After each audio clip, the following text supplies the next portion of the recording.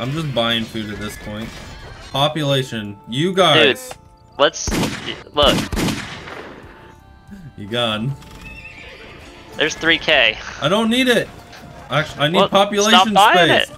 Anyone who's not. Uh, Okay. I'm spending a ludicrous amount on. Uh, That is why you do ah. not randomly hit idle villager button and hit delete. You always double check. Because otherwise you end up deleting the castle because your idle villagers were inside of the castle. Note, Oh. note to that's a free one for all you guys watching now. huge, huge tip.